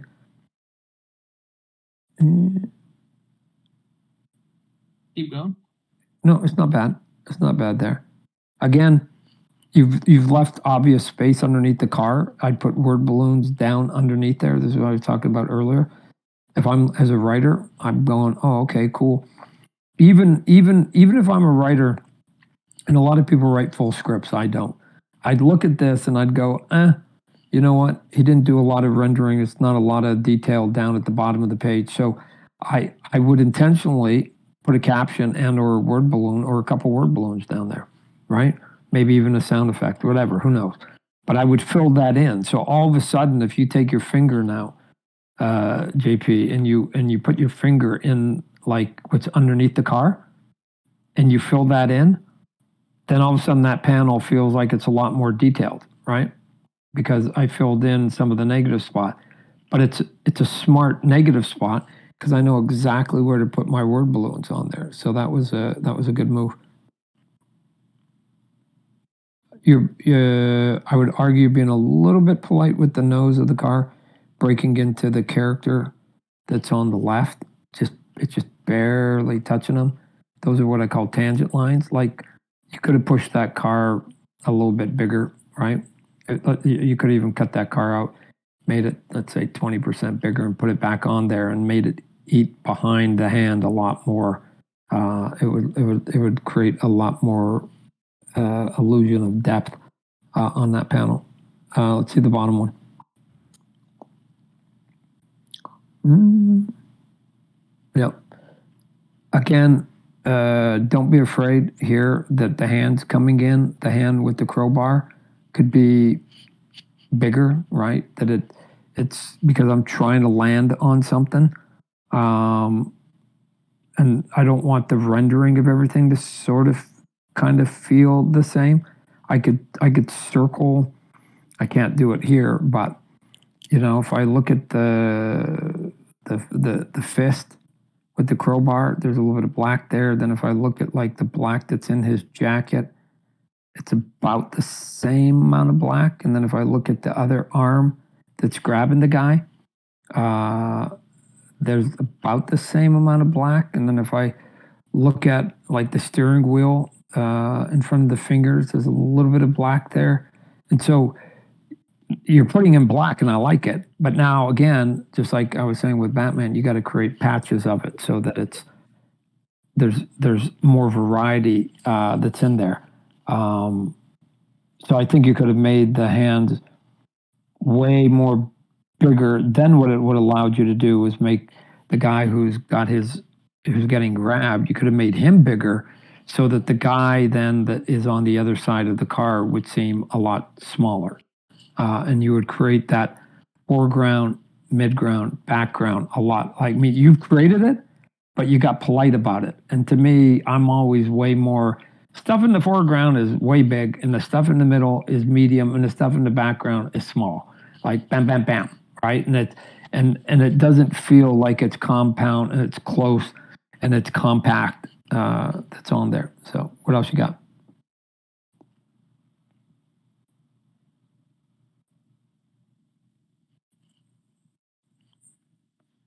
So this is uh yeah. Yeah. So I like I like that uh what's, what's happening? Oh, I oh it's a bo- oh, I see he's grabbing somebody. Batman. Got it. Yep. Got it. Um again, uh he's saving him from looks like getting run over or something like that. Um but uh again trying to figure out your posing so that the thickness of his thigh isn't sort of the thickness of his head, the, the guy he's saving's head. And if you look at some of the black, again, now you're laying in the black, there's nothing that's in the Batman's cape there that is dramatically thicker, thinner than like the bottom, his bottom thigh, right? So if I look at the bottom thigh, if I didn't, if I didn't know, if I just cover up Batman's body and Batman's top leg, and I just look at his bottom thigh real quickly, and I look at his cape, mm, I can get confused a little bit. And this is what I was saying before that that a thigh and cape can't they, you can't render those the same. You're going to have to come up with a different way to convey both of those. I mean, you did a nice job with the the truck that looks like it was going to run him over. That that that's completely different.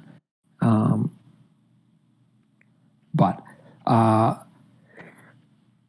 and uh, for Spider-Man, it works. But uh, usually, when you do like uh, worm's eye view, which is from the feet up, I, it sort of it you know you get big thick legs and you get this little pea head. Um, I always sort of like the other way where they're leaning towards you, so their their heads feel sort of a little bit more menacing. Um, but there's uh, there's a, I think a stronger way to draw Batman so that he came forward and almost was tackling him like a football player getting tackled, uh, and so he would be forceful instead of sort of swinging back, so that his head is so tiny that you're losing you're losing him on here. But um, the guys that he's saving, his hand could have cut more in front of his thigh, Batman's thigh. See how you got his thumb that's just politely not cutting into any of his Batman's anatomy, right? I wouldn't worry about it, right? Get it, get get stuff in the foreground, midground, background. Always overlap as much as you can to create that illusion. So, again, there's a lot of nice stuff in there. I take a look at take a look, like I said, at like Greg Capullo and how he moves the camera around and I think you'll see it real quickly. And if you can apply some of that to yours, I think I think that'd be a nice sort of step forward in your artwork because you're doing a lot of good stuff. Okay. Ooh. Again, Batman. Look at it. Look at look at, like uh, look at the Batman in the panel two, which all black. I see them, and then you got you got detailed cityscape. Cool. That's it. There, there's nice contrast there. But then you go to the next panel, and again, all the wrinkles are about the same in the cape. Um, I'd even argue in in the last panel, Batman frowning or whatever. You know, the rendering around his eyes, above his eye, below his eye, his eyebrow, uh, on his forehead. It's kind of a bit of a star effect, and it, it's all kind of the same. you could have made one side of his head probably 90% black. You didn't have to have to overthink it a little bit. So and there's a color version of it. Right. So it all it all works out a lot better when it's colored. And and again, I'm not saying that color isn't our friend. I'm just saying that when you're starting, you want to try and make it as clear as possible pre-color, uh, so that if then you get a good colorist and it just becomes dazzling. Then at that point, instead of trying to do the separating for you. So, but all right. So for our first evening of portfolios, those were a good pick. I mean, again, if you just randomly picked them, then we've got a lot of talent in the pool here. Um, so uh, hopefully, uh, some of the people that didn't get up on stage that had some art, they can get on next time. And or there were comments here that you can look at your own artwork and see if you're maybe making some of the same sort of I don't want to call them mistakes, learning learning process because I made I made I, I did all of it and then you just become aware of it and you start paying attention to it yourself. So that's that's it for today. Appreciate everybody sort of sticking around. We'll do this again in the future because I think that was productive and it actually worked way better than I thought it was going to work. Um, so uh, I don't know, Jake, if you got any last questions or anything. Uh, only thing I would say is I know we, if we want to get through all of them, because we have about 35 more submissions that we Yeah. can take a look at. Um, Yeah. We might have to up the pace a little bit. Well, what, yeah, uh, what I would do is uh, then like just cut everybody down to like three pages, right? And then just pick three pages that are kind of different, and then I can go through it a lot a lot quicker. So, I mean, this is a learning process for all of us, myself too. But um, uh, yeah, I can, and I can just set a clock and just say, hey, everybody gets six minutes, and then that way I can get through ten. I can get t- through twice as many in an hour. So. Okay. And everyone that's already submitted and has five pieces of artwork in there, that's fine. Uh, when I do reach out and contact you, I'll just ask you which three of the five you want uh, reviewed. Okay. Or just pick three that seem dr- dramatically different. Could do that too. Yeah. All right. Appreciate appreciate everybody hanging around. Uh, uh, took a little bit longer than we thought on a Friday, but uh, anyways, we'll do it again because uh, I know that uh, me taking my portfolios to people and people talking about it was always very useful to me. Uh, doesn't mean that everything I say is right. You should get comments from as many different artists as possible, but it's just one more person's point of view on your artwork because never listen to your mom and dad and the neighbors because they can't draw. So they're just going to say you're awesome. Um, go go talk to the pros and get get professional tips. All right. Hope everybody has a good evening, and we'll talk to everybody soon. Thanks for joining us.